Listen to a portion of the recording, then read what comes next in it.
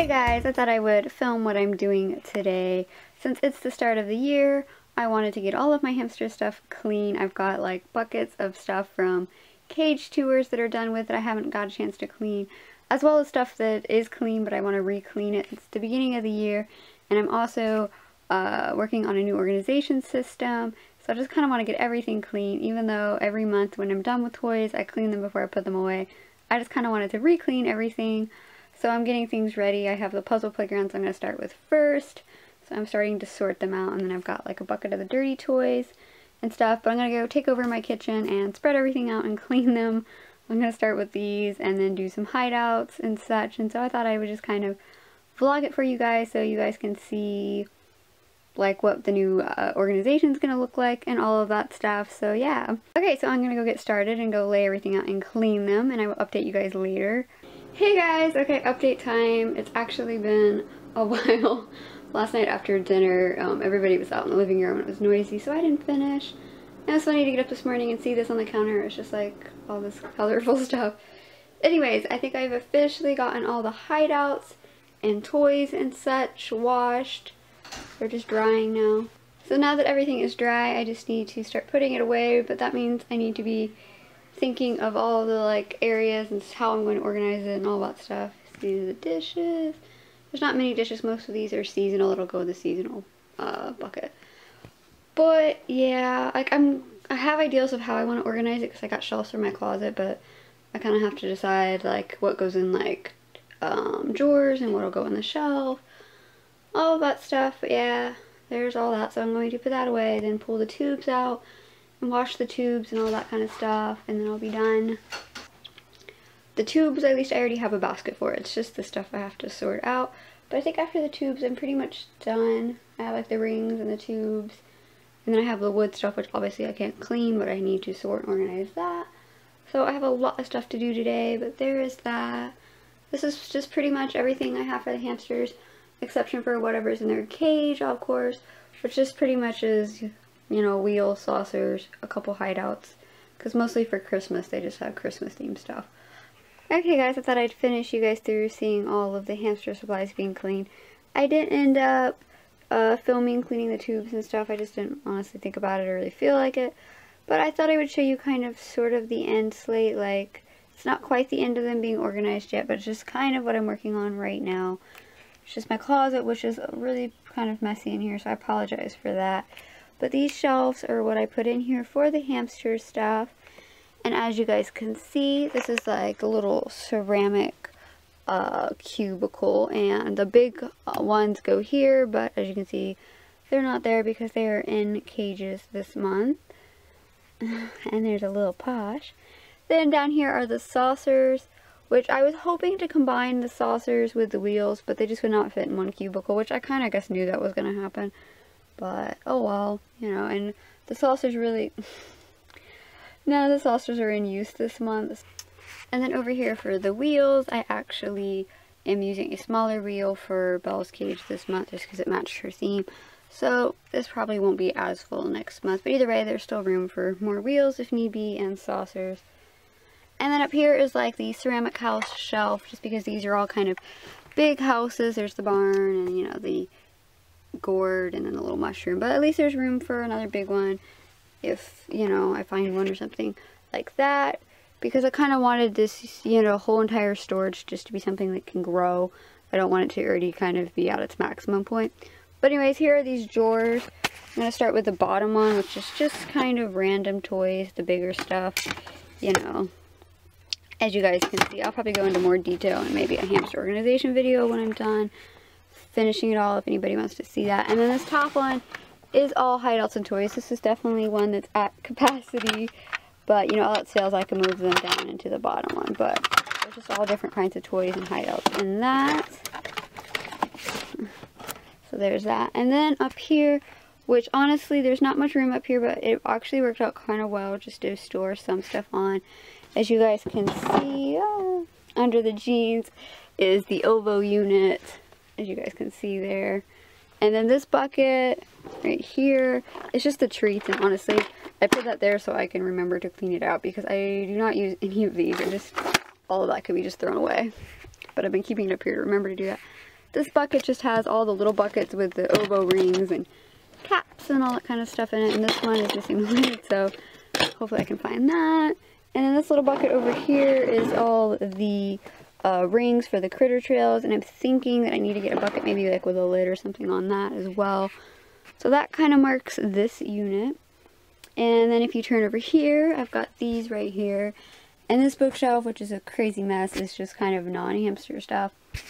But then I've got this unit which goes all the way up to the ceiling. And I'm enjoying that there's some open spots here because I want to be able to put some folded sweaters and some other stuff of mine. So not just hamster stuff, but at some point if it all becomes hamster stuff, it's okay because that's the point of it. So I can have room for everything. So I have two completely empty. I have this one which is just a container with literally all the Ovo Dwarf stuff for that dwarf down here, that one. It's all the stuff I'm not using for it and I'm thinking about getting rid of it. I'm not sure yet, so it's just all completely there, everything I don't use. So there's that, and then there are these little containers which you guys are probably used to seeing, which has all of the playground stuff in it. And I really do need to probably get some kind of container with lids and find a source for that. And there's this thing, which I just, I made this ages and ages ago, and I never even once used it, but yet I don't want to get rid of it, because it's so kind of cute in a weird way. I don't know why, but it's there, because I just need to get rid of it because I'm never going to use it. But I don't know, for some reason I like it. So yeah, there's that. And then way up here, these two containers are full of tubes. If I can show you guys, let me see if I get them down. okay, see if you guys can see. They're just random little OVO pieces and regular pieces. This definitely is the messy drawer, but when a lot of the OVO pieces are in use right now. So when they're not, this drawer will probably be a whole lot more packed. Okay, and then if you guys can see here, they're all like straight tubes. I like this one's a whole lot more sorted. It is long tubes and then the little straight tubes and then some ovo pieces. So there's that. As you can see, it's pretty full. That's why I ended up using the second one. So I, it, you know, won't be a very full one, but that's okay. Put that. okay, yeah, so there is that.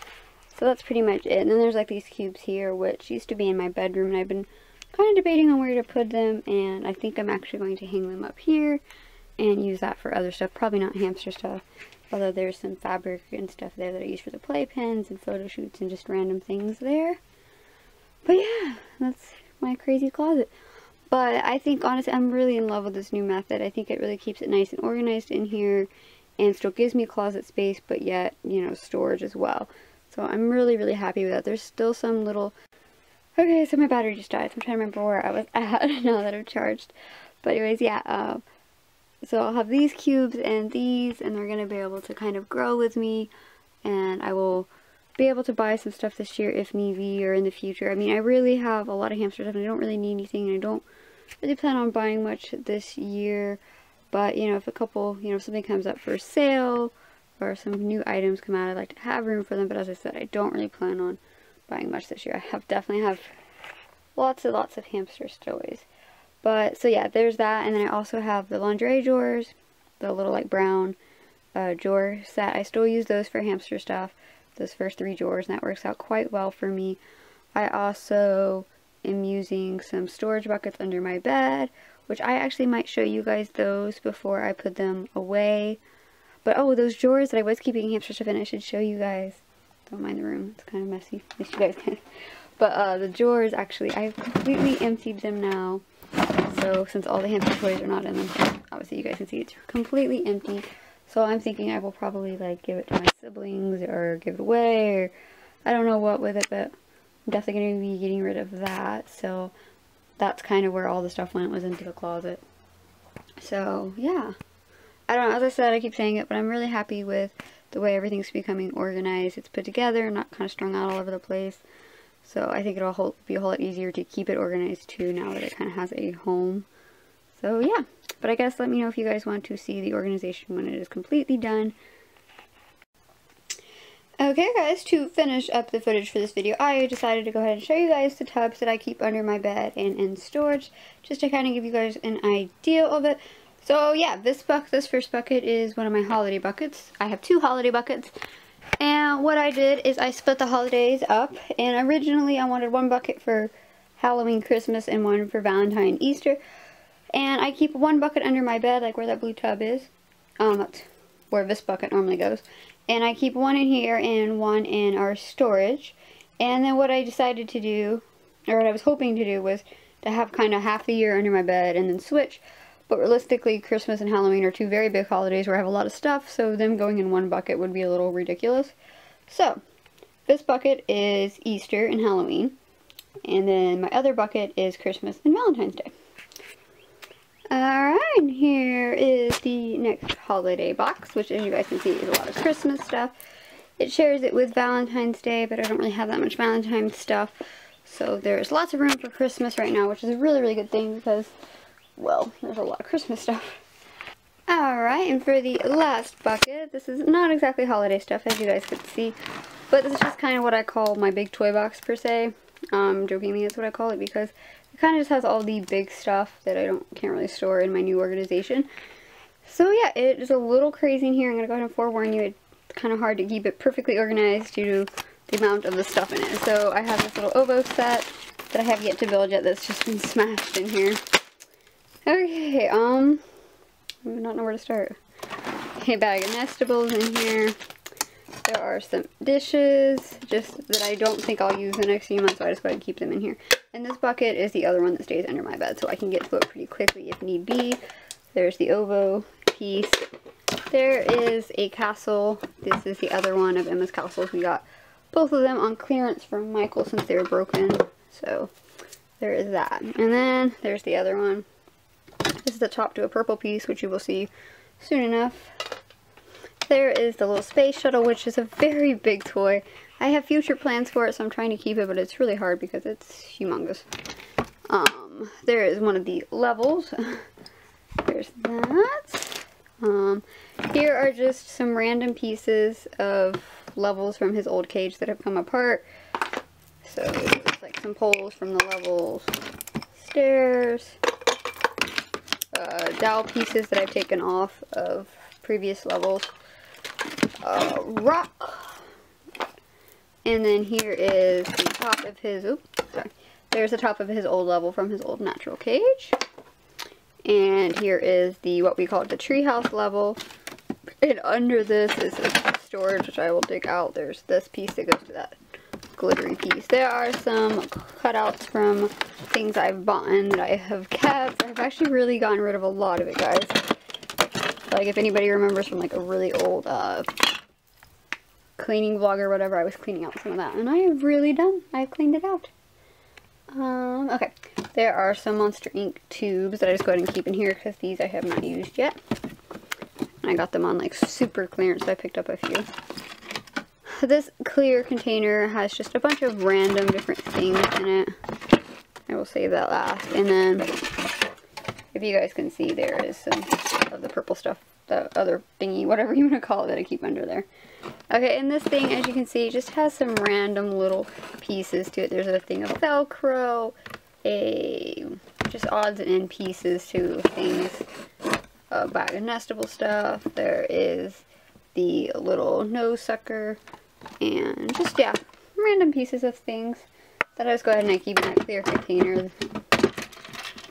So this bucket is pretty full right now, as you guys can see. Yeah, but um, Stitch will be getting a new, not really new, but a, a natural theme again here really soon.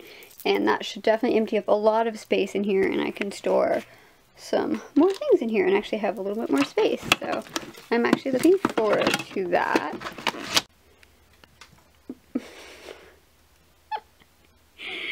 Babe, really? I, we're just gonna go with it. Okay, we're just gonna go with it. Okay guys, so that was it for this vlog, I hope that it wasn't too boring and that maybe it gave you some ideas for some organization for your hamster stuff. So yeah, if you would like to see in detail what's in these boxes, maybe like a detailed holiday collection or something like that for the hamster stuff. Or if you guys would like to see an updated organization for the hamsters when it's fully finished, let me know and I will definitely film a video for that. Or anything else you guys would like to see, just let me know. Thanks for watching guys. Bye!